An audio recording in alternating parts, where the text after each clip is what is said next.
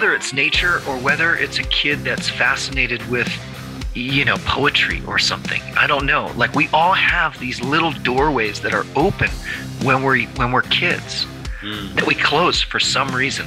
And uh, what often takes a place in my work with people is like how do we open those doors again Welcome to the 1000 Day Sober podcast. My name is Lee Davy. I am not an alcoholic. I refuse to be anonymous. I am someone that doesn't drink alcohol. I am an amazing father, husband, son, friend, leader, lover, and master coach. And I spend every minute of every day helping people to live a self led life after alcohol. After alcohol.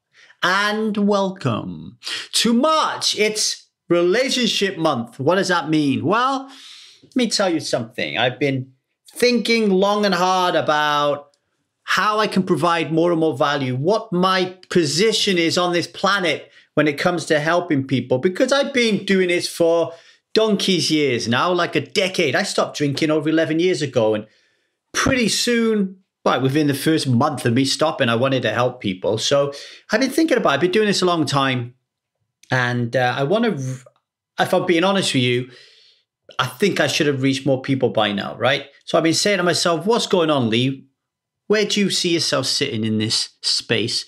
And honestly, I get, I, I really understood recently um, that there was a time when I thought that becoming someone that doesn't drink alcohol was the end of an epic journey. Like, I'd done it right? Or if I help somebody to become someone that doesn't drink alcohol, they've done it. Celebrations, blow the kazoos, let off the paper streamers. We don't drink alcohol anymore. We're done. The end of an epic journey. But I realize, especially because in 2021, me and my wife Liza sat down and had some serious conversations about ending our marriage, right? Why? Because we were unhappy. Why? Well, one of the big reasons my wife was unhappy is because of my inability to show up consistently in what I call self energy, in my pure essence, what I'm, the man that I'm capable of being. Why was I unhappy in our relationship? For the very same reason. Because I was showing up consistently in my ego, my child, Imagine being married to a child. It's not nice. It's not cute. It's not cuddly. Imagine being a child. It's not good. Not when you get to 47 years of age, right? So I now realize that actually I got it wrong for so many years. Becoming someone that doesn't drink alcohol isn't the end of an epic journey. It's just the start of an epic journey because now we don't drink suddenly the one of the first thing that happens is we start to feel Yes, ladies and gentlemen, we start to feel because alcohol is a numbing agent and we're not drinking it anymore. So suddenly we start to feel. And if you join a group like Strive, you also start to think because you are surrounded by people who are thinking and who are talking and communicating about how they're feeling and thinking in life, about what they want to achieve, about the conundrums of life, the human condition, and suddenly you're getting involved in that. That, to me, is the work. There is a space here for people like me to create families like Strive that appeals to people who have stopped drinking. People who have stopped drinking alcohol and are suddenly thinking, well, this isn't like what I thought it would be. Where's all the unicorns and rainbows gone? Someone shot them all and uh, blacked them all out of the sky. Because when you stop drinking alcohol, whilst that is wonderful and amazing and all the stuff that goes with it, it's very likely you're still surrounded by a load of people who still drink. You're still surrounded by people who share the same bed as you who drink. You've still got the same wounds. You've still got the same trauma. You've still got the same things in life that you're not happy about and you might not develop the skills and the courage and the confidence and the compassion needed to navigate your way through these minefields, right? Just quitting alcohol doesn't allow you to do that. If it did, my second wife wouldn't be uh, seriously contemplating divorce, right? Because I don't drink, and neither does she much, right? So, Strive's all about helping you to experience a self led life after alcohol to be in your self energy, your essence, to show up as your creative genius as often as you can, to be above the line in a state of curiosity, curiosity, consciousness, and compassion, and to steer away from victim consciousness in that alcohol drama triangle that I talk about in my book of the villain, the victim, or hero. Okay. So that's what we're all about. So, what I'm doing is for the next 12 months, we're going to be theme orientated. So, in March, it's all about relationships, relationships with ourselves, relationships with those that we love, and relationships with the unknown, relationships with nature, relationships with God, relationships with spirituality. And we're going to be talking about that today with Darren Silver, but more about him later on, right? So, what does Relationship Month mean? Well, we're going to have a series of guests this month on the podcast who are going to talk about relationships. Uh, today, we're going to talk about Darren Silver and we're going to talk about your relationship with nature. Uh, we're going to talk to Kathleen Hendricks, the wife of Gay Hendricks, and we're going to talk about how to create conscious relationships that stand the test of time. Kathleen and Gay have been married for 200 years and they still love each other and have a vibrant sex life and all that kind of stuff. I want to learn about that and understand why and spread that gospel to you folks. We're going to be talking to a guest that's been on here before, Lisa Dinhofer. She is a thanatologist. For those of you that don't know what a thanatologist, and you're going to thank me if it comes up in the pub quiz on Sunday night, if you still go to the pub drinking your sparkling water, a thanatologist is a grief expert. I'm going to be talking to Lisa about the grief of divorce, blended family, and also the horrific thought of losing someone while you're in a relationship with them. How do you get over that without turning to alcohol? I'm going to talk to Lisa about those things. And we're going to be inviting Krishna Marathoor into Strive uh, to do a special um, talk with the strivers on finding your ikigai. If you don't know what ikigai is, it's the Japanese word for meaning and purpose, right? So all that is coming uh, your way. You will hear Kathleen, you'll hear Darren, you'll hear Lisa. We'll have one more guest on as well talking about relationships this month. If you want to be in the crowd when Krishna is talking about the Ikigai, you need to join Strive. And if you do join Strive this month, this is what else you'll be getting. Every Monday, I will be live on Zoom teaching you and guiding you through a concept that really worked well in my relationship with Liza um, on Zoom. Week one, we're going to be uh, talking about the self, self energy, self essence, and why it's so important in relationships. Week two, we're going to be talking about projection. Okay. When we are judge it, we, we're really angry because this person judges me it's very likely because you're judging them, right? We're going to talk about projection. And week three, we're going to talk about attachment styles and personality types and all that kind of stuff. Uh, looking at the work of uh, Bowlby and uh, previous guest Don. yeah, Stephen. I don't know, I've forgotten his name. Bloody hell, a couple of episodes ago.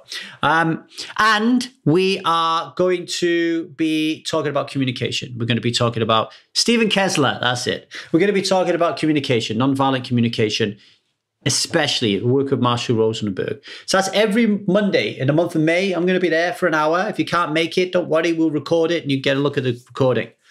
Then every Friday, I'm going to be there for an hour again. Um, and in week one, when we do self, I will be there on the Friday to do hot seat coaching and answer any questions there is on self to have a more immersive, uh, participatory um, environment where we can practice stuff. So, in the communication week, for example, we'll all be able to get on Zoom and practice nonviolent communication. As uncomfortable as it may feel, it's really, really important that we practice this stuff, right? So, that is coming your way if you want to join Strive in March, all right? And you can always quit after March if you don't if you don't want to continue. And if you think it's a pile of pants, I'll give you your money back as well. Uh, what else have we got to offer in March? Well, Michael and Stella, two of our senior Strive members. That means they're both very old. Uh, they're going to be doing weekly Zoom calls every Wednesday and every Thursday. And you're also going to be able to get into our family uh, on Marco Polo. And we've just started to um, emigrate, well, not emigrate, but add as a complementary platform Discord. So we're on Discord as well, where we can talk about relationships all month long. And last but not least, we are introducing a new philosophy of mine called Heal to Earn. Uh, we're just starting out. We don't know where it's going to go, but we've got really high hopes for it. really excited. So we're going to be doing a lot of quests in March. Uh, what are these quests? Well, they could be something as simple as um, make sure that you tell your wife something really vulnerable today about your sex life. It could be something like get together with another member of Strive and practice nonviolent communication for an hour. Uh, there will be a wide range of quests that you'll be able to participate in and you will be able to earn Strive coins. So Strive coins will be our digital coin here at Strive. Uh, each Strive coin at the moment is pegged as one US dollar, and you'll be able to use that money to reduce your subscription fees, uh, to have coaching with myself and other Strive coaches, to buy uh, training courses that we create that are not part of the subscription service. And who knows, one day outside of Strive, you may be able to spend them in Sainsbury's on a melon or a jar of pickles, right? So if you want to join us, March, we're talking about relationships. April is going to be codependency. We're going to cover topics like sex. We're going to cover topics like parenting. We're going to cover money. We're going to cover addiction, obviously. Okay. We're going to cover fun, all that kind of stuff, meaning and purpose. So, Strive is a place to be if you want to live a self led life after alcohol. All right. What else have I got to talk to you about before I pass you on to Darren? Well, I caught COVID. Uh, caught COVID, and uh, today I did a test and I'm negative. Every time I say I got COVID, I cough. Um, there you are. That's uh, there's something going on there, isn't there? So I caught COVID, um, and something else has happened that I want to draw your attention to. You you obviously are all aware now that Russia has invaded the Ukraine. Uh, what you won't be aware is uh, the guy who is responsible for making this podcast a really beautiful audio experience for you. So the sound engineer that knits everything together, um, makes the sound pucker, puts the intro and all that. His name is Stan, um, and Stan is a family man who lives in Ukraine. Okay, um, he has had to move out the city, move his family into the country, and it's a very, very scary time for him. If you've been reading the news, you'll know uh, that the country's been handing out Kalashnikovs to uh, local residents to take up arms and protect their families. And, uh, you know, Stan, who I've been working with for many years and I love dearly, he's in the middle of that, right? He's in the middle of that. So if you want to donate some money to Stan to help him out while he's going through this terrible time, then uh, drop me a note at the strive method at gmail.com and we'll make that happen. If you just want to send him a love note, send it to me at the strive method at gmail.com and we'll make that happen. Okay. Um, yeah, unsung hero. I love him and I'm just praying uh, that he gets through this whole, um, sorry, affair. Um, minimal, minimal um, injury or impact on his life, right? Because it's very, very difficult time.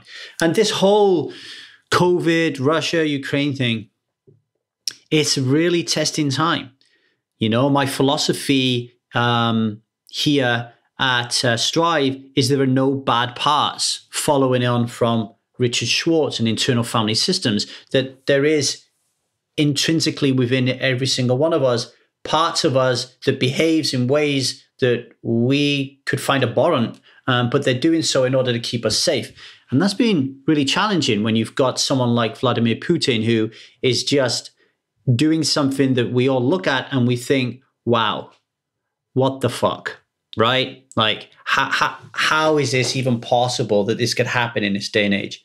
And, and similarly, when, you know, with COVID, the vaccine, non vaccine debate and argument that I I feel I feel and I hear when I'm on a train in the UK such a hot hot topic, right? And it's allowed me to really go inside of myself and to really test some of these uh, theories and philosophies that I've been picking up from the likes of Richard Schwartz and that I've been promoting through Strive, right? Um, and that is curiosity and that is compassion and that is um, an open mind, right? So I've been really thinking to myself, what the hell is going on in a man like Vladimir Putin's mind right now? What the hell is going on uh, in the minds of the the Russian people going to war? What's going in the minds of the Russian people? What goes through the mind of somebody who is really anti-vax? What goes through the mind of someone who is pro-vax? And trying to do it from a place free of too much judgment. Okay? And trying to find some resemblance of compassion because I really believe that if we want to live a self-led life beyond alcohol, compassion is the key. Is making it a practice to always come from a place of compassion. And my challenge to you is to do the same thing. Okay. We are easily biased and easily swayed um, by people, our environments.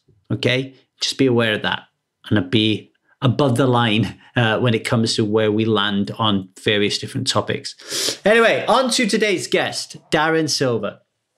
MA is a rite of passage guide a nature connected coach, ceremonialist, can't believe I said that without messing it up, and innovative educator. He has over a decade of experience working with ritual wilderness living skills and guiding transformational experiences residentially and internationally. He is a gifted storyteller, an apprentice to the old myths. Darren weaves the power of the natural world, vision, and community in devotion to the remembrance of regenerative culture. I first came across Darren when I was on a course called The Illuminated Man. Thank you to Nikhil, Nikhil, Nikhil Kale uh, for running that. And I thought, holy shit, what a super powerful man this guy is, right? And I had to get him on the show because when it comes to relationships, we can easily forget that relationship with nature, the relationship with the earth. You know, look what's going on in Russia and Ukraine, in Ukraine, right? We're, we're not just bombing people, we're bombing the shit out of the earth, right? Like, um, what's happening in Australia right now with all the floods and everything that's going on? It's like Mother Earth is giving us a message.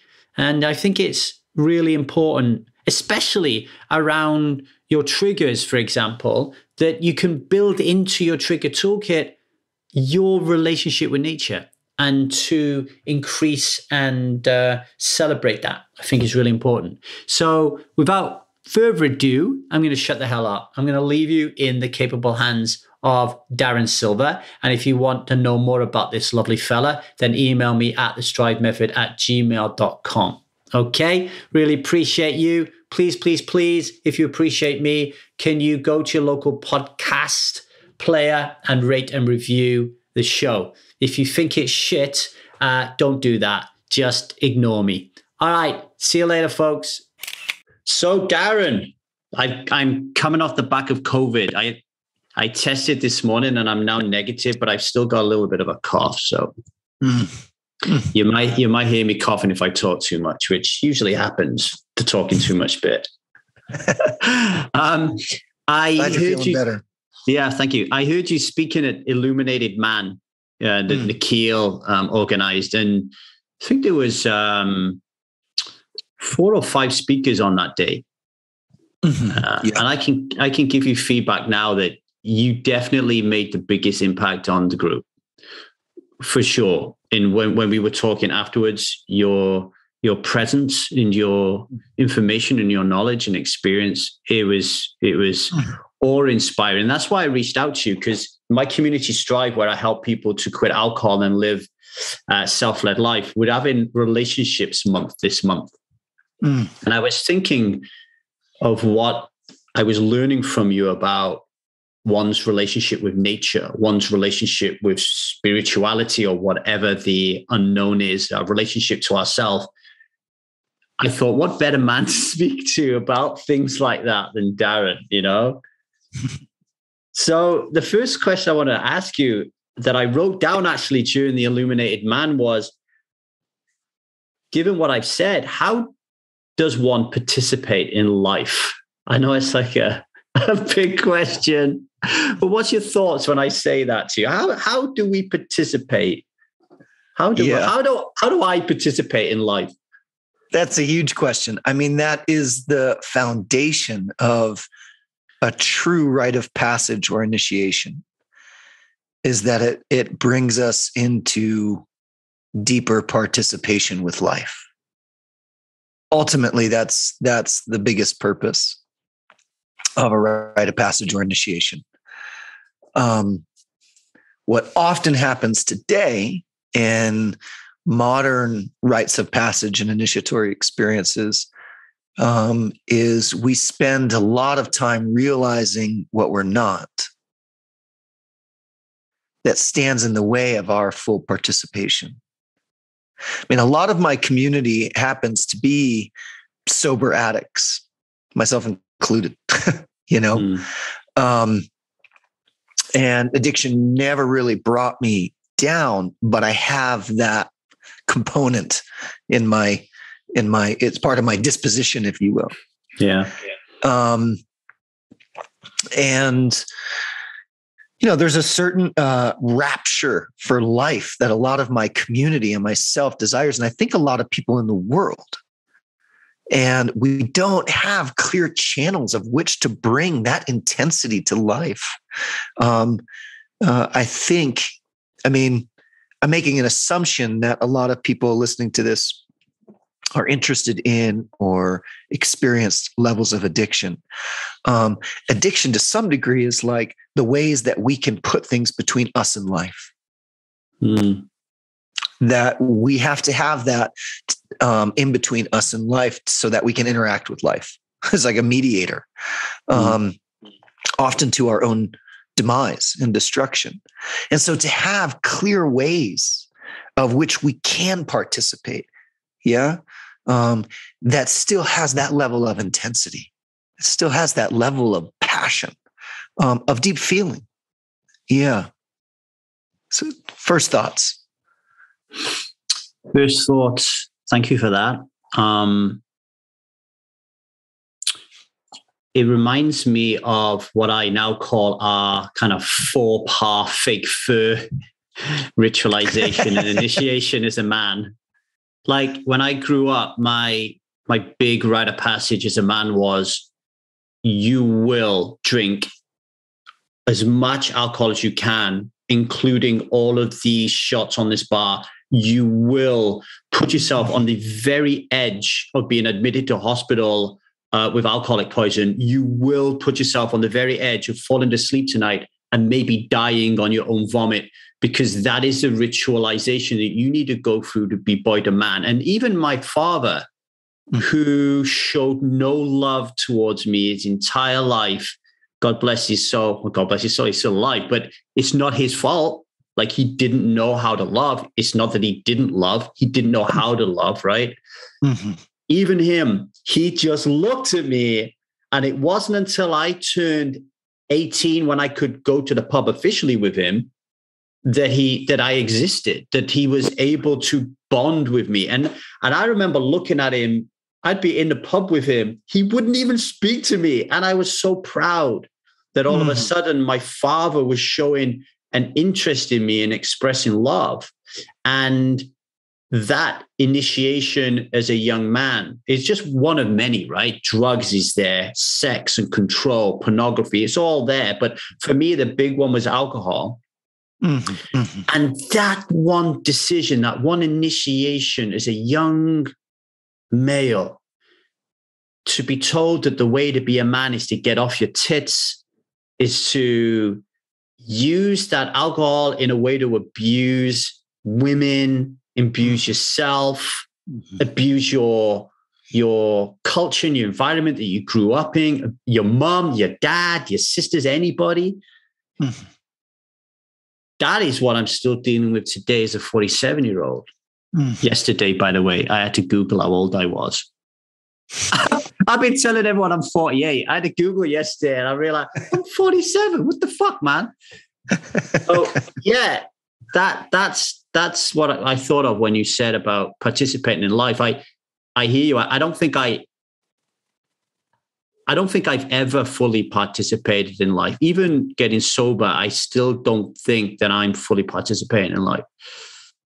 Mm-hmm. Yeah, we have to remember we have choice. Um, because today to fully participate, especially for young people, especially for teenagers. Um, they look at the world and they don't want anything to do with it. They look up to, you know, elders or olders or mom and dad, and, they're like, I don't want to live, I don't want to live like that. Um, now my partner has a has a 17 year old um, so I spent a lot of time with with a teenager, and we were watching um, "Don't Look Up." Mm, I saw it. Yeah, yeah, and like the first fifteen or twenty minutes, or somewhere in the ending of the film, um, her son was like, "Well, I can't do this. It's too overwhelming to watch this. It's too overwhelming." And you know, there's been lots of times uh, in, in time with him in the last four years that I've felt that sense of over overwhelm in him of what's happening in the world. Um, what kept him in the film was the humor.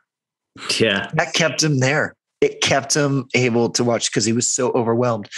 So it's it there. There's um, we have to remember we have choice of what we want to see, of what we want to participate in.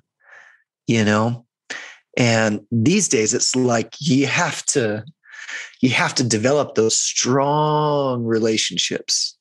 For me, that's been connecting to nature. That has given me some sense of robust threads of relationship, um, of which then I can go into the world and have more awareness of myself and where I want to participate, how I want to participate. Mm on that, um, one of the things you mm-hmm. one of the things you said in the Illuminated Man I I wrote down. it was this the sit spot. Yeah, yeah. He was talking about the sit spot, and I wrote down something in the realms of "Holy shit, got to do this, and I've got to add this into the trigger toolkit for the community." Like, what a beautiful mm. thing! And then I mm. never did it.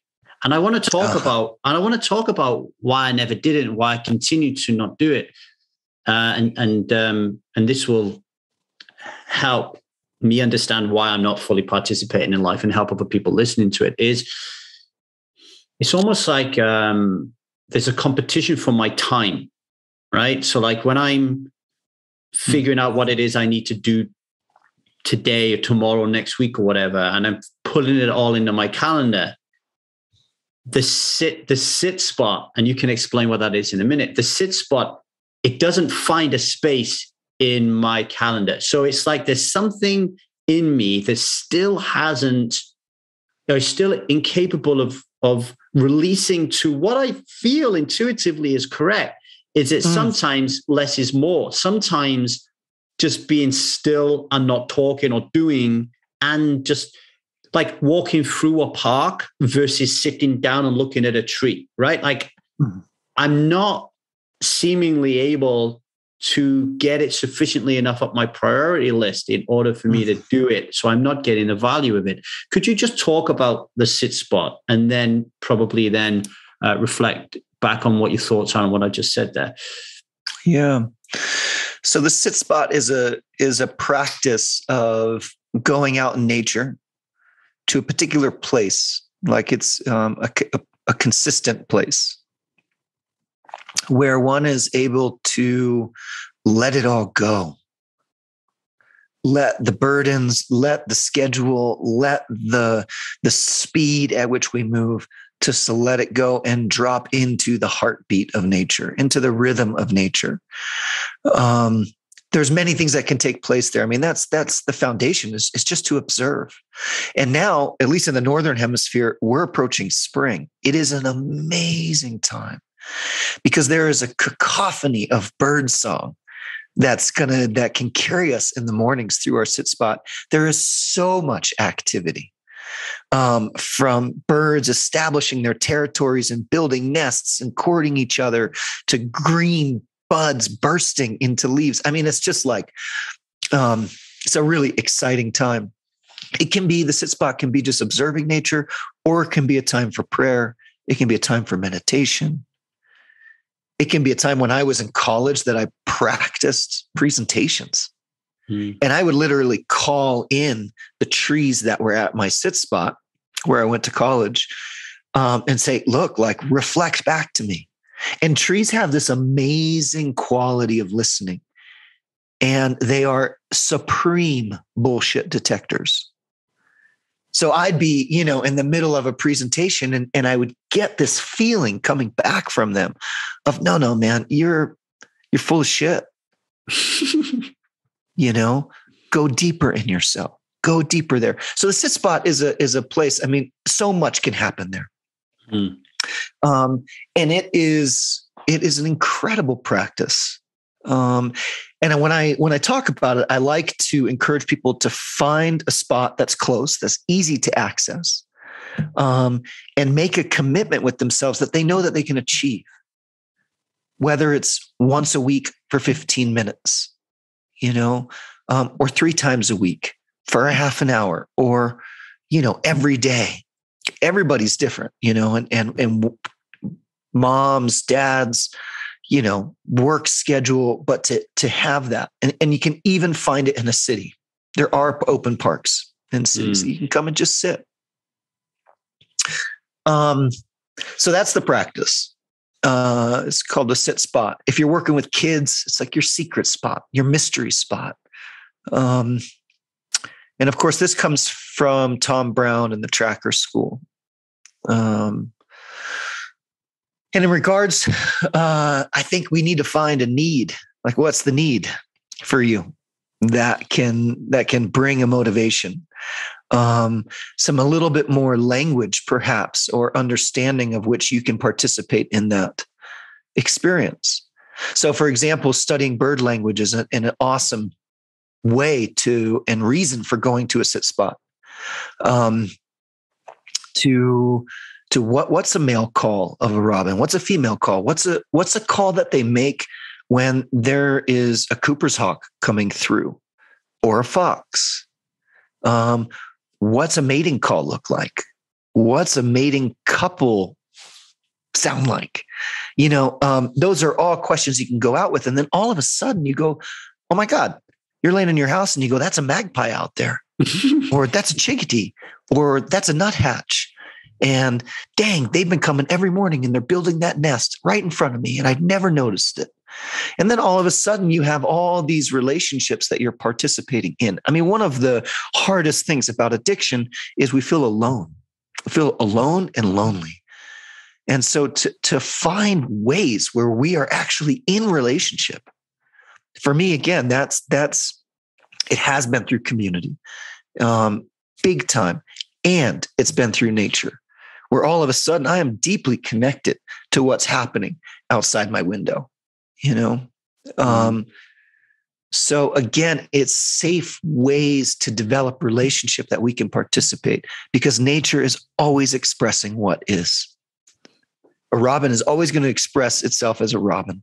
A cottonwood is always going to express itself as a cottonwood. But we humans, our magnificent um, dilemma is that we can lie to ourselves all the time. Mm-hmm. And so, by immersing ourselves in the constant expression of what is, then who we truly are begins to emerge. And when it begins in nature, we have this incredible foundation. I mean, I can tell so many stories of being in massive corporate campuses in um, Texas, in San Francisco, um, in Detroit, with uh, in um, in Raleigh, North Carolina, uh, or maybe it's South Carolina, in Raleigh, one of the Carolinas, where I feel completely out of my element, completely, and doing some training, teaching something there, and just walking out just for a minute and connecting with nature and seeing a small, you know, a cardinal come through and go, okay, you're coming with me in here.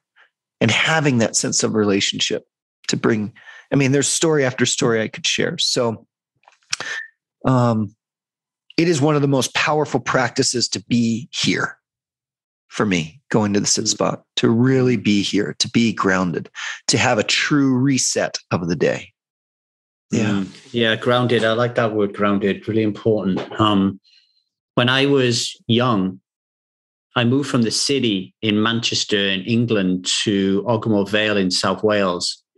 And I didn't know anybody. And there was this guy who lived on the same street as me. I won't I won't mention his name because I'm about to talk about something illegal. Well, I'm just about to drop myself in it. And uh, I, I was I was there and he said, Do you want to see my egg collection?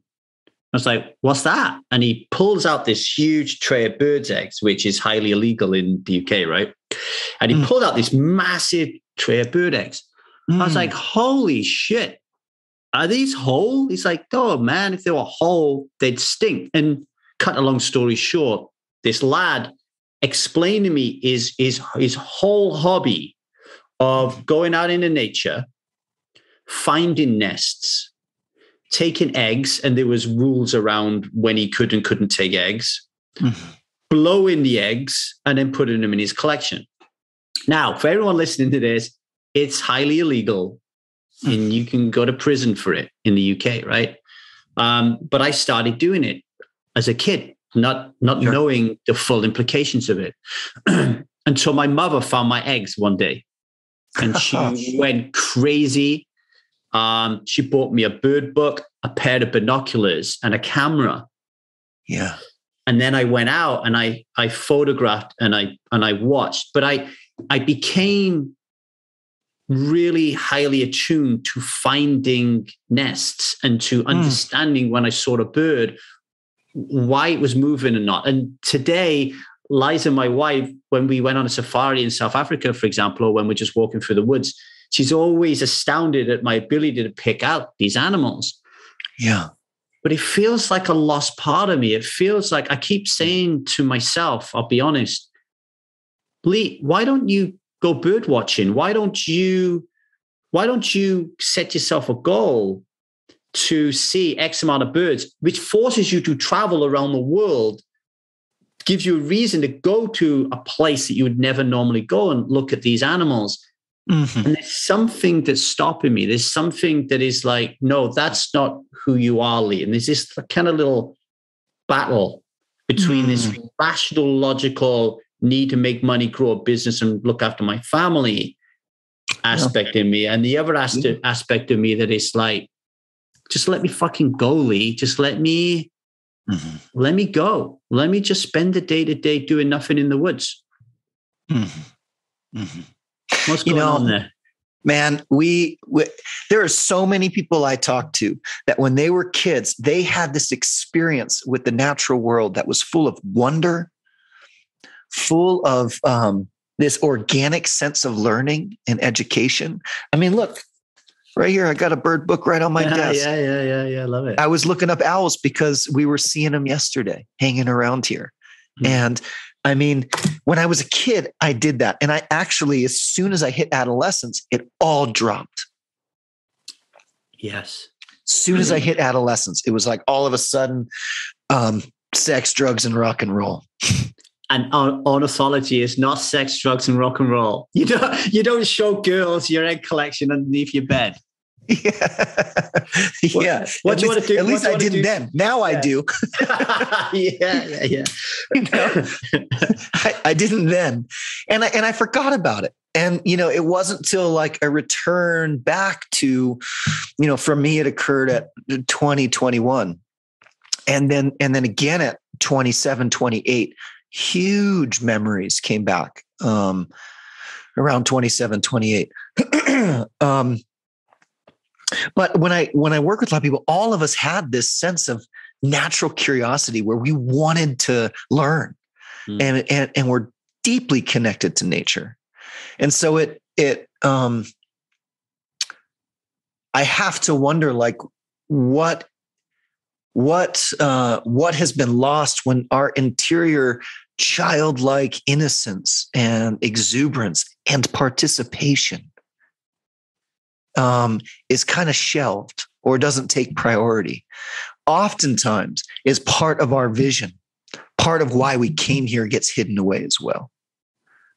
Whether it's nature or whether it's a kid that's fascinated with, um, you know, poetry or something. I don't know. Like we all have these little doorways that are open when we're when we're kids mm. that we close for some reason. And uh, what often takes a place in my work with people is like, how do we open those doors again? How do we open those doors again? And um, because it comes with wounds and it comes with gifts, and it's holy shit. When I was eight years old, this happened, and that was so painful. I had to close the door, you know. Um, but the gift, the gift is right there as well. And that's common language in rites of passages. The wound and the gift are inseparable. Um, and to get a little bit more specific, uh, we all have these experiences as children where the where the door is open. You know, I love hearing. I love hearing this uh, relationship you have with birds. Um, touches me deeply. I was I, I had you know just bringing up bird language was off the cuff and then to hear that you have that relationship touches me yeah i i mean i'm getting goosebumps now and people who know nothing about birds probably thinks this is what i'm about to say next is ridiculous i you know we we only have certain amount of memories that stick in our head because of an emotional connection to them that really sears it. i can't remember the, the, if it's an implicit or an explicit memory i can't remember which mm. is which mm-hmm. I once found a cuckoo's egg in a robin's nest. Uh huh. Yeah. I found a I found a robin's nest, and there was this great big blue egg in it. And I was like, first of all, I was like, who's put this egg in this nest? And then when I realized nobody would ever do that, and I started to look it up, I realized that it was a cuckoo. And I learned about cuckoos. They don't build their own nests. They, they lay their yeah. eggs in other people's eggs. And then yeah. the chick is born first, it kicks the other eggs out, and then this poor little robin ends up feeding this big cuckoo. That sticks in my mind as a as a moment of nature, which just absolutely I was what a, a, this is how a cuckoo raise it. It doesn't even raise his kids. It just drops his egg in somebody else's nest and says, "Raise my kid for me," and uh-huh. and, and it sticks in my mind. Yeah, there's and, humans and, like and, that too, huh? But that but that memory can get lost in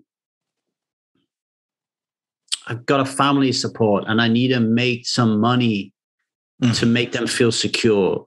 And then all of a sudden that memory disappears. Like a, uh, another big one for me is when I was 14, I played the Artful Dodger in a school production of Oliver so hmm. all all week, I, I, learned a freaking script. I learned to sing. I learned to dance. I mm. never put a word wrong. I loved it. The crowd loved me. Everything about it was amazing. Mm. But the next year, when they wanted me to go into a different production, it wasn't sex, drugs, and rock and roll, right? Mm. So, so now I feel the pull to act. I feel a pull to create. I feel a pull to get back into nature. Um, but I'm afraid. Mm-hmm. There's a real fear there of going down the street and joining an improv class that I'm mm. battling with at the moment. Mm. Mm. You know, uh, life is where our edges are, you know?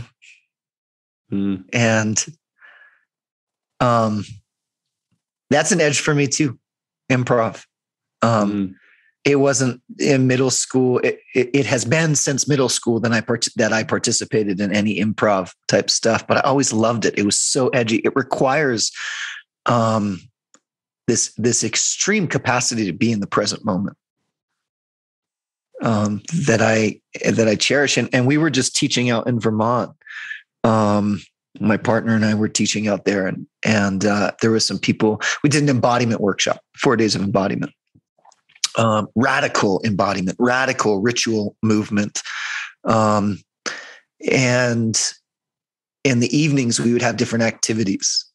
Um, like I did storytelling one night, and uh, and there was a there was a talent show one night, and like three or four people went up there and did improv, um, and it was so fun and so funny. It was such a good time it was such a good time. But there's that thing, you know, of maybe that's the edge which which brings you into deeper participation. We interrupt this broadcast between Lee Davy and Darren Silver, two tree huggers, to tell you about a book which sounds very ironic, seeing as though you have to cut trees down to make books. But this book is a digital book. It's called the Strive Method. Control alcohol for 30 days so it doesn't control you for 30 years. Why am I talking in this squeaky voice? I can't do it anymore. I've got COVID, man.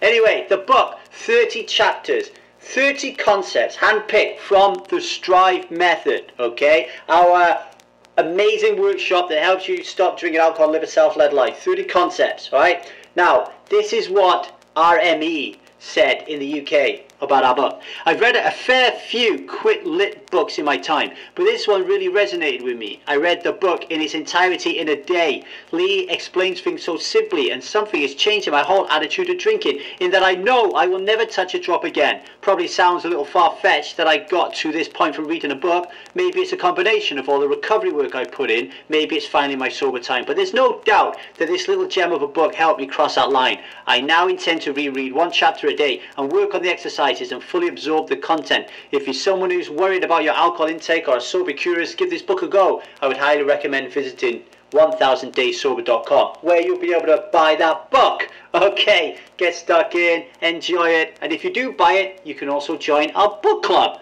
which means we will be um, hosting a live event every month talking about a chapter of the book, and you will be included. Right, I'm going to shut up and leave you back in the capable hands of Darren Silver.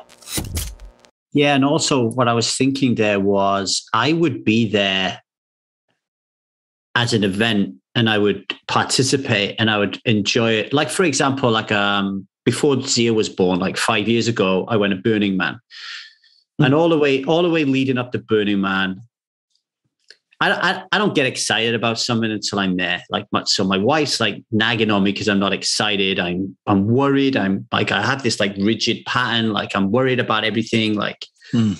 but then I get there and then I'm in my element. I remember it just suddenly I remembered Glastonbury in 94, Reading Festival in 94, the freedom, the ability to naked people just walking down the street, like like the ability to just express yourself and do and be who you want. Mm. And I revel in that. And then mm-hmm. it ends. And then I come back to Groundhog Day. Like even, right. even, even me who feels like I'm living my meaning and purpose, right? Like I, I want to help people live a self-led life after alcohol. And even that, I find I find it turning into Groundhog Day a little bit, right? Mm today I got to do some content and today I got to tap into people and then I got to see Darren and then I got to go for a walk because I can't be near my computer for 90 minutes. And and I'm learning how can I fully participate in this which is why I asked you that first question mm-hmm. versus ticking things off a list. Yeah. Yeah. Man I mean that's that's uh that's the riddle. Good, the mean, riddle. I mean, when I take people out for wilderness rites of passage, you know, the hardest, the hardest, uh, the most difficult and most challenging stage nowadays is the return. Hmm.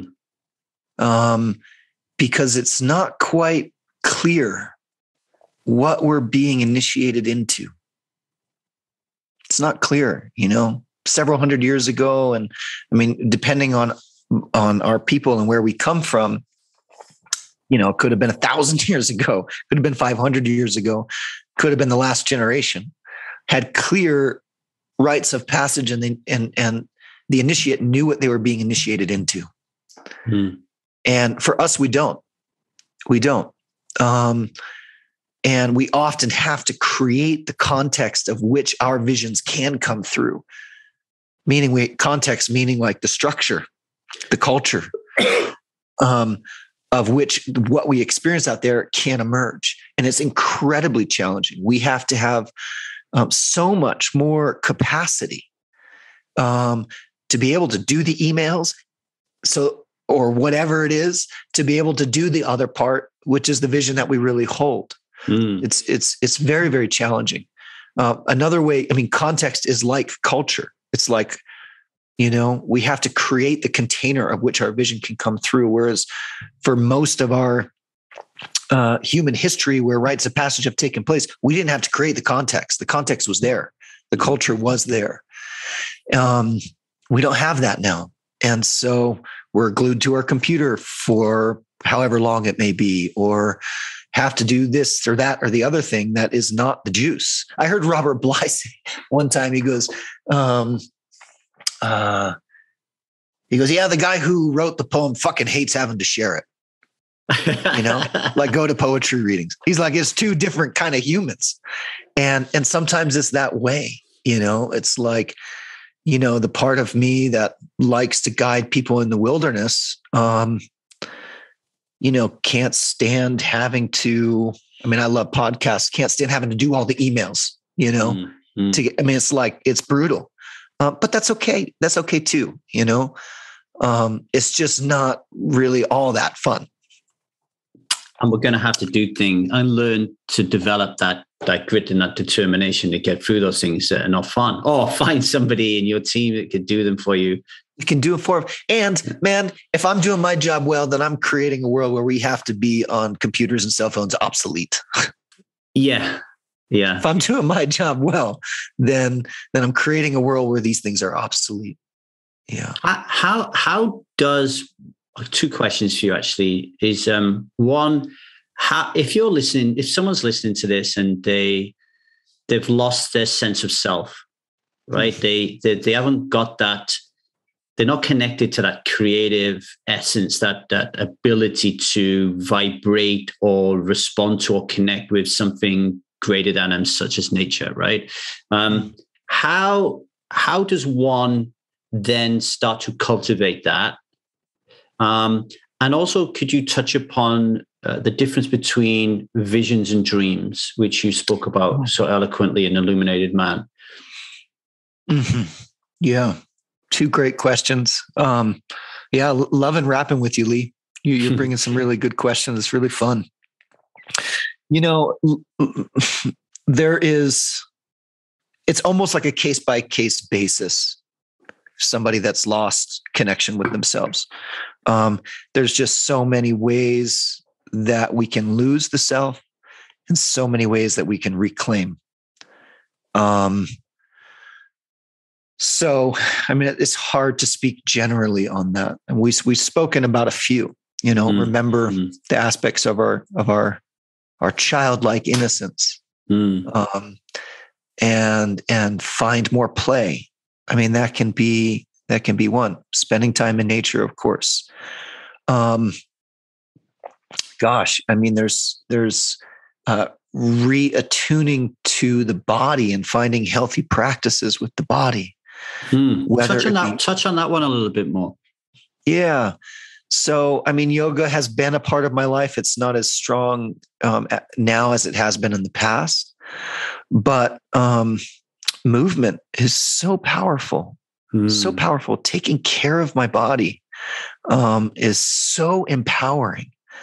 Um, making myself a good, hearty meal is so empowering. Um, but the the the movement um, that I do is inspired from five rhythms. And five rhythms is a practice that Gabrielle Roth observed in nature. Like observed this arc of these rhythms in the natural world. And so by us going through those five rhythms in two minutes or two hours, um, all of a sudden we again, here's that word, we are participating in the great movement of life. Mm. Yeah. Uh, I mean, there's just so many. It's it's so hard to say. Um, it's so hard to say like one or a few things because it's kind of a case by case basis for me in the way that I work. Um, but here's something really simple and concrete I'll say. Oftentimes, when we are suffering or we are pulled out of ourselves in some way, it's because we have some sense of an ideal that we are trying to achieve. Buddhism, they call it desire. Hmm. But I'm saying an ideal. And um, we are suffering trying to achieve that ideal as opposed to getting a clear view of what is happening now. So there's often a conflict between what we think ought to be and what actually is. And if we can be radically honest with ourselves and with the world, with what is, there's usually an opening and freedom of which we can walk into the world. Whether, you know, whatever, whatever the what's radically honest is, mm-hmm. you know, um, as opposed to trying to achieve something other than what we were experiencing or what we want. Mm. Because one of the primary things of um, rites of passage of old, right, is that um, we realize the purpose of living is not to get what we want. The purpose of living is not to get what we want. Yeah. What is it then? yeah, intentionally left blank. It's different for everybody. However, for men specifically, because I do a lot of work with men, it's how how can we be generative in the world where we are no longer you know initiation is being um, leaving the mother's world the literal mother's world and going into the great mother's world meaning the earth mm. meaning this world that we live on and so when we're in the mother's world we're being taken care of we're being fed we're being you know suckling on her breast if you will and then the time of adolescence is you go out and you have these experiences, and all of a sudden you go, now it's time for me to bring life to where I go. And the, the incredible state of the world that we're in is a bunch of men that are still taking. Hmm. Still taking, as opposed, to, I mean, as opposed to being generative. Yeah. yeah. I once heard you I once heard you say men are meant to be generative, not extractive. Yeah. Yeah. So, um, so removing that ideal, removing this sense of what ought to be and getting real gritty and really honest with what is. Yeah. Mm. So, so you talking there about um, having an expectation of X, Y, and Z, and then being disappointed because you don't reach that expectation and yeah, the vulnerability of just letting it drop. Yeah. That's um that's one way to look at it. But um there are ways that we set that are that are more pervasive that we set ourselves up um to to be in conflict um you know so many ways so many ways um, shame is a good one. Guilt is a good one. It doesn't necessarily involve other people, which expectation kind of sometimes does. Mm. You know, like this sense of man, I I I did wrong. I, I ought to have been this way. Mm. You know, suffering because there's an ideal, an ideal that I'm trying to achieve. Yeah. I'm suffering. You ought to be different. That's mm. another one. Hmm. You know? Um, so what was the second question you asked? I lost it. I'll ask you. I'll ask you in a minute because I because you've just brought up yeah. some things I, I want to share with you. Um, uh-huh. Before I move on to the second question, on, on the on the ideal thing, there's something that came up for me. Yeah, that I've been practicing lately. I'm not. I'm not. I wasn't raised religious. Mm. So there's a real rational, logical kind of. Uh, I would say that's my foundation, right? So, mm. so when you when you talk about communicating with trees, for example, or I mm. think about talking to God or being at tune with a higher power, it's it takes me away from my it deviates me away from my norm. Mm-hmm. Right. Mm-hmm. Um, but recently I've been trying to change that. And mm-hmm. I've been communicating with God and I've been record actually I don't know why, but I've been referring to God as she. Hmm. And I've been asking her to show me the way, asking her to show me signs. So, for example, when it comes to making money, which is a real thing in my life as a man that comes from how I was raised and my responsibilities as a husband and a, and as a father with expectations of what school my daughter needs to go to, what area we want to live in, all that kind of stuff. I've been so fixated in the the systems and the rationality and the logic of making money that recently I've been saying, hey, God, um, here's what I would like. Yeah. Can you show me how that's going to happen? Can, mm. can you show me how to get X amount of clients this week? Can you show me how to hmm. sell X amount of books? Can you show me how to attract X amount of dollars? Mm. And I've been I've been really putting faith in trying to let go of the how. Mm. And since I've been doing that, it's been happening. Mm-hmm.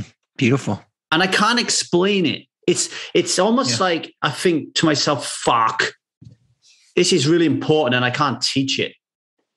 Yet I look at I look at I look at you and I get in your space and I'm like, this fucking guy can teach it. Hmm. Hmm. I just wanted to share that with you, like you know, and yeah. there's something else I want to share with you in a minute. But if you have any reflections on that, if you don't, just say no, and I'll move on to the next thing. But. It's beautiful. It's beautiful. What I hear in your prayer is a question, is like guidance. It's not as fixed as an ideal. Much like show me the way. Yeah, I don't want to be a. I don't want to be a victim, right? Yeah, I, I, yeah, I don't want to appear yeah. like uh, I don't know how to do this because I know that exists in me. Like, mm-hmm. there's a part of me that's like Darren. You know, like when I saw you um, in Illuminated Man and listened to you, I came off and I, I wrote. I wrote on my piece of paper, "What a fucking powerful man." Now, what happens to me then is I'm like, I need to meet this guy so he can fix my life right? There's a there's a fucking part of me that just wants everyone to save me, and I'm getting a bit emotional thinking about it. I want people to save me, and my wife recognizes that in me, and it really turns her off.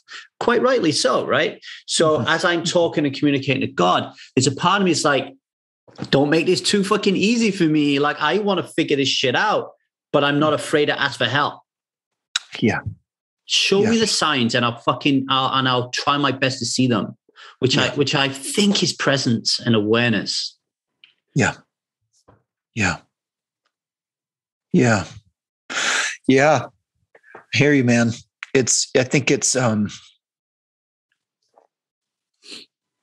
I think men in particular, I, I for women too. I, I don't want to, but as a man, um, gosh, it's it's it's uh there is the ideal, right? Um, that we provide and, and all the social conditioning around that. Um, and yet, uh, and, and, and a lot of it really noble, a lot of it part of our nature to want to do that. Hmm. Um, and yet, when a lot of the ways that we have to provide are in contradiction to um, what our nature has fulfilled for thousands of years, which is protecting the place that we lived, truly protecting the families. You know, now there's this conflict for a lot of men that it's like, well, I'm doing the providing part, but in the process, I'm destroying community. In the process, I'm destroying the earth. In the process, I'm dismantling true education. And there's a space in there where there is unconsciously so much hurt. Um, and oftentimes, what emerges out of that is like, can you just fucking see the complexity of all of this? God, um, that's that's that sounded like one of my rants when I'm in the middle of a fight. Yeah. If you could only understand what's going on in my fucking mind. yeah, exactly. Yeah. Can you see this? Can you see the contradiction that exists in our being? That part, um, you know, I heard it once said that one of the most challenging things of being a father these days, um, if we have just a little thread of, of, of awareness, which you and I both are working towards, that we have to provide what we never got ourselves. That we have to, and that is fucking hard. Hmm. That is hard. to provide what we never got ourselves. So if we never got seen, then we have to learn how to see. And something else you said um, that I wrote down because I have a 21 year old son is you wrote, I got to hear fathers are too close to their son's process. And I, and, and I was like, that really hit me because I, I, do you know, you, you talk about the death, like, mm-hmm. um, Kazimierz Dabrowski, the Polish psychologist, he calls it positive disintegration. So those of those of you who watch movies like The Matrix, right, it's a good example. So mm-hmm. when I stopped drinking at 35, I had my catabasis, right? Like I, mm-hmm. my life as I knew it suddenly resembled the ashes. Like I, I was in still water at the bottom of a fucking dark cave, and I just realized I was there. It's like someone had just woke me up and said, Lee, this is real life. And I, yeah. I shit myself. And then from that moment, I positively disintegrated, as Dabrowski calls it, and I started to climb out of the, the thing, right? Mm. I stagnated again for a long while when I stopped drinking and I thought that I had my journey had ended. I only now realizing that that is the beginning. Like this mm. is the beginning, but I thought it was the end. Like I was like, on my soapbox telling everybody stop drinking you'll that's all you need to do solve the world but i i look at my son today beautiful human being he was fathered by a guy who was pre-catabasis or pre my major catabasis my major kind of like rock bottom moment and there's a part of me that wants to fix that darren Mm. There's a mm. part of me that sees sees him and hears him sometimes, and I want to. My fix it energy comes out, and in the past, everything that I've tried spectacularly fails because he's a fucking 21 year old man.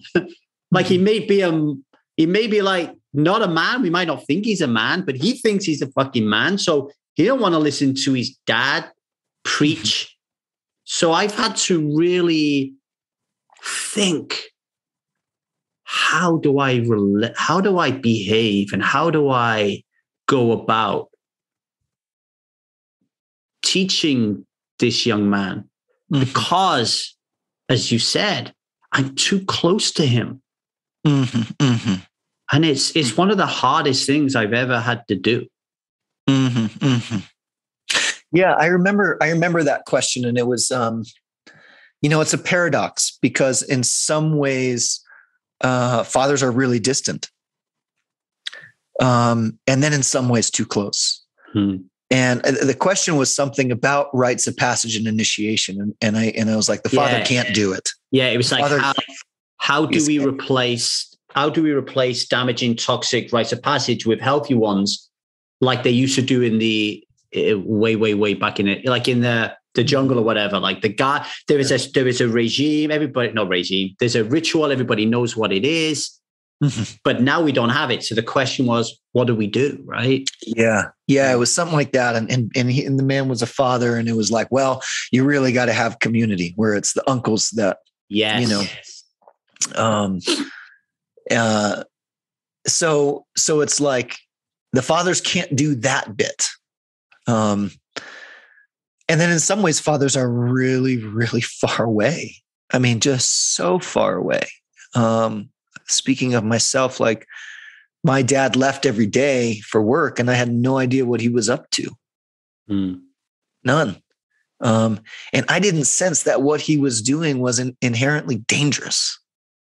So there was no like curiosity, like draw in, in a sense of like a vital way um, that carried a sense of vitality.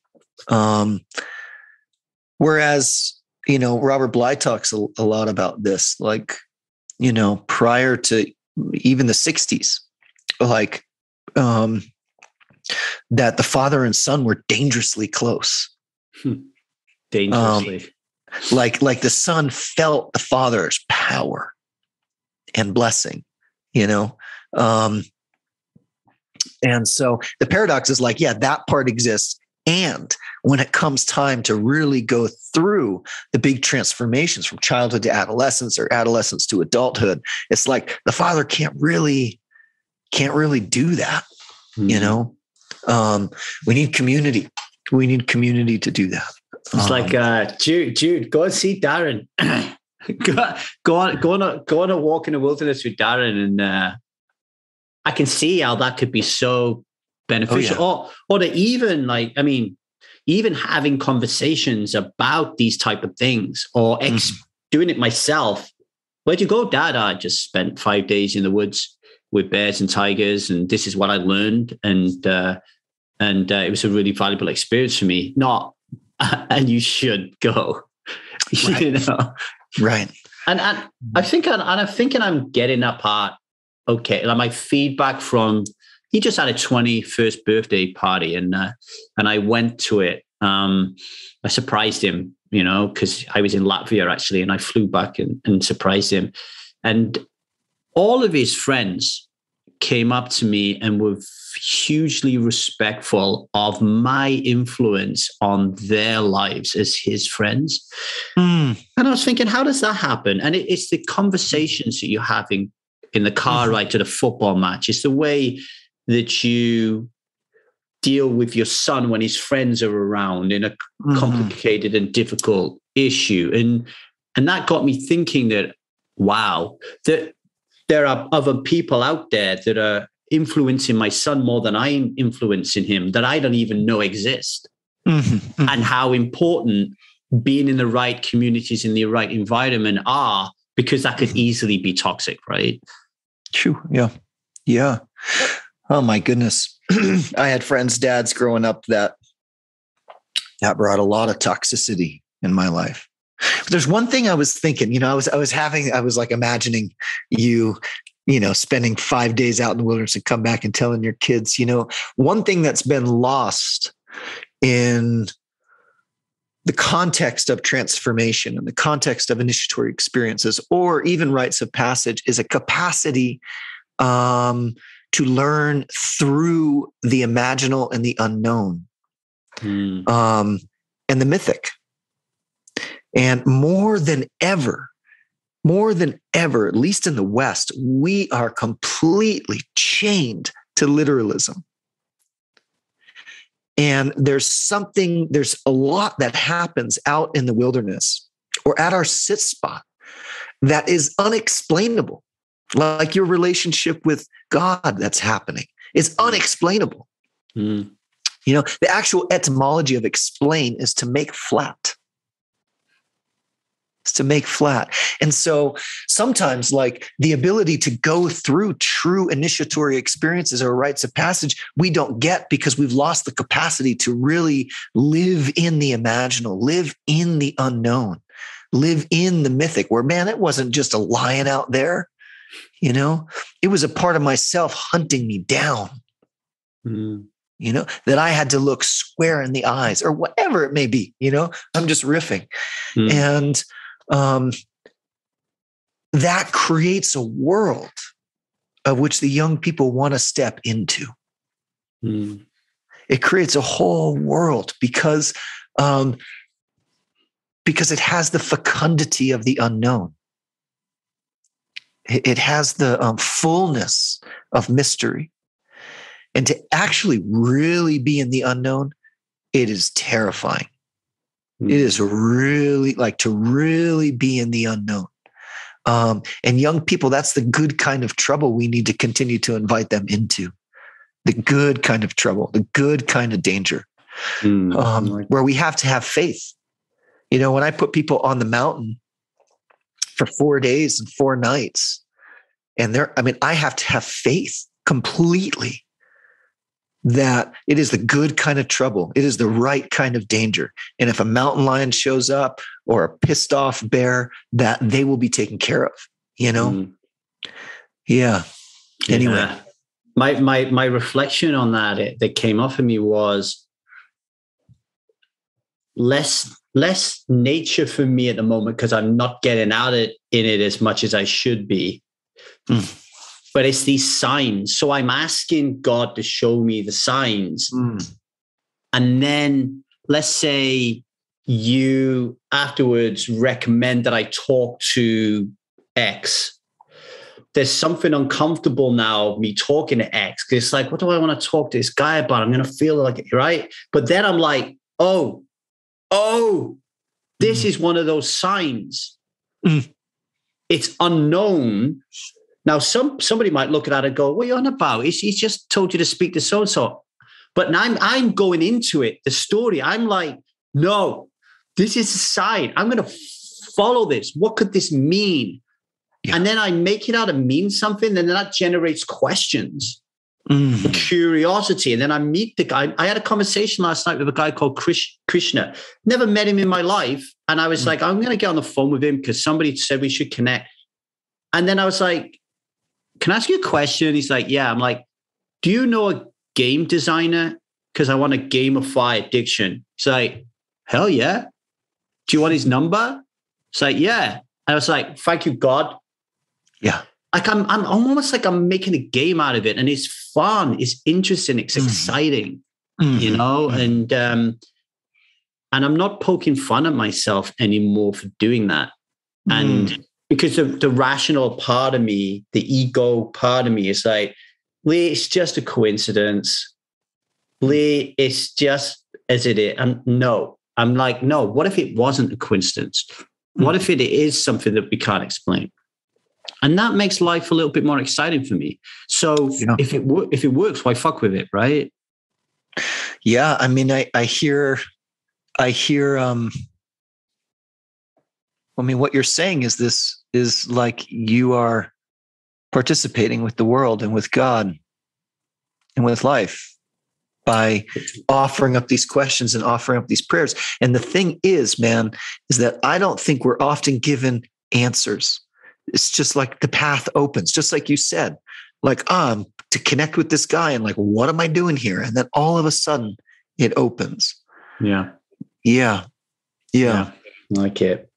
Anyway, we came up to time. I didn't get to answer you, ask you that other question, but um, We'll do. Oh, ask the other question real quick. Sure? you good? Thirty second good? answer. Okay, yeah. it was the difference between visions and dreams. Ah, vision and dreams. Yeah. So, um, the question was asked to me when I was twenty. So, so nearly twenty years ago. Um, and the question was, are you willing to give up your dreams to follow your vision? And that question has come up at so many crossroads, so many junctures in my life. And what I've come to realize is that a dream only has to do with me, only has to do with Darren. Mm. Whereas a vision is something that um, involves my people and involves the earth. It's a very different feeling feeling inside my being. Mm my dream would be to uh, have a cabin in Alaska somewhere. My dream would be to have uh, a house on the beach in Maui. Um, that's not my vision. Yeah, that, that's not where where life comes and opens up, where I feel like I can really participate. Um, doesn't mean that I, uh, sometime I don't go to Alaska. Doesn't mean I don't go to Maui you know, and hang out. Um, but more often than not, when I've come to those crossroads, it's brought me deeper into my sense of vision. I have to remain here and continue working with the young people. You know, even though what I want is this, you know. so um yeah, that's that's the short answer to dreams and and visions. Well, beautiful place to end. Yeah. Beautiful. Thank you, bro. Yeah. Beautiful place to end. Tell people how they can find you, get hold of you. Obviously, I'll put it in the show notes, but for those of them running around the block right now, um, what are you doing? What are you doing and what are you offering these days? Yeah. Um, I have a website. It's darrensilver.earth, D A R R E N S I L V E R dot earth. Um, a lot of wilderness based rites of passage vision quest type work I do divinations in a West African tradition. Um, work with adults, work with men, work with women, work with teens. Mm. You can always find me on um, Instagram as well, ds.silver. And um, yeah, that's where folks can find me. And Lee, I just want to thank you so much, man. Thank you for reaching out and and and and also, you know, you impact me with the praise that you've given of how touched you were and um, the Illumin- Illuminated Man uh, mm. conference. And even thank more, even that. more, even more again today. So yeah, uh, yeah, keep yeah. doing the good work. I just want to honor you and uh, draw attention to that. That you you are changing people. These these things matter. Hmm. You know, Thank you. some someone will listen to this and it will change their life. You know, so and that's that's no exaggeration. It does. So thank you for that. Yeah. Thanks, brother. It's an honor to be here. I hope you enjoyed that, folks. Isn't he a beautiful, beautiful presence? Oh, Darren Silver, right? If you want to know more about Darren or how to work with him, email me at the strive method at gmail.com. Now, before you go, sorry, nearly burped into the microphone. Before you go, if you want to live a self led life, if you want to be present with your children, if you want to communicate more effectively from a place of self with your wife or your husband, if you want to be a great leader, if you want to f- take 100% responsibility for yourself, if you want to heal wounds, go into the shadows and understand your childhood and how it's impacted your actions today, then you may consider one on one coaching with your truly Lee Davy. Okay.